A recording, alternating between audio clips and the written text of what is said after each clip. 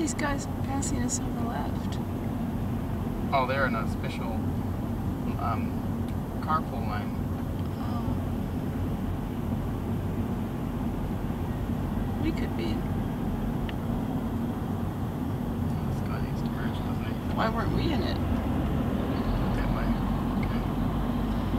Cops have their partners say they're allowed the carpool lane. Oh, that's because we came the pretty way.